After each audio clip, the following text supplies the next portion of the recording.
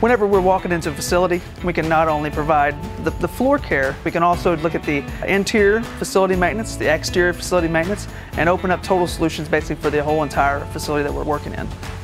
There's an array of, of different flooring care solutions that we just can't have every piece in our arsenal, so uh, when we need that specialty item, we just quickly reach out to Sunbelt and they deliver.